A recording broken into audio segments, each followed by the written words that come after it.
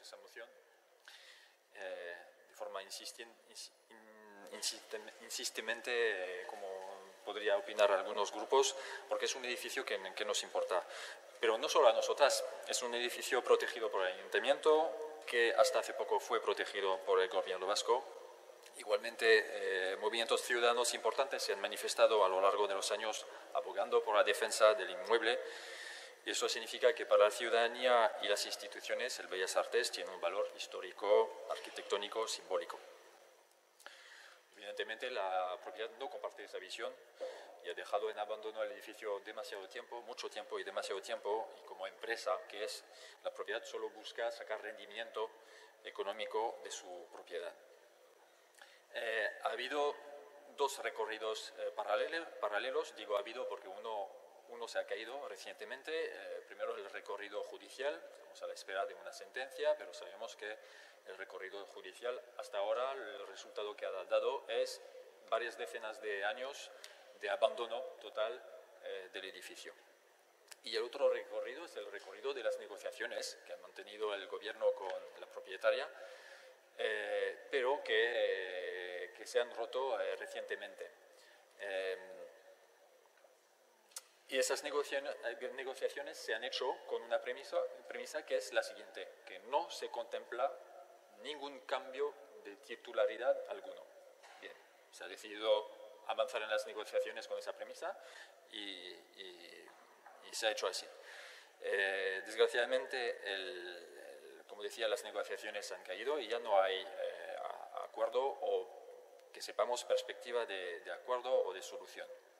Con lo cual, lo que queremos proponer es que se revisen las premisas para eh, volver a empezar a hacer, a realizar una negociación. Em, y esas nuevas premisas para nosotras es proponer que se abre la puerta a la valoración. No estamos diciendo que hay que hacerlo, abrir la puerta a la valoración y cuantificación de algún tipo de cambio de titularidad, como podría ser la permuta. El gobierno municipal siempre se ha rechazado estudiar, evaluar y cuantificar la opción de la permuta por tres razones. Eh, primero, porque eh, considera que una permuta sería equivalente a comprar un edificio, solo que no sería con dinero, sino con otro edificio. El segundo es que la administración no necesita más equipamiento público.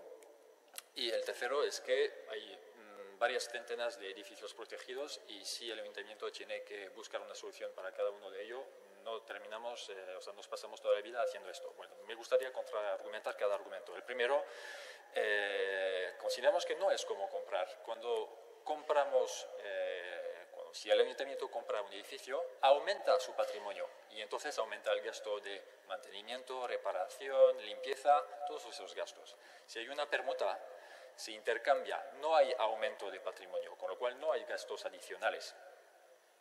Eh, sobre el tema de que la Administración no necesita más equipamiento público, pues eh, también contraargumentamos eh, de la siguiente forma. Cuando hablamos en el pleno pasado de la Casa de Baños, eh, se comentó que hay una necesidad de equipamientos públicos y por eso la Casa de Baños no se va a dedicar integralmente a uso ciudadano.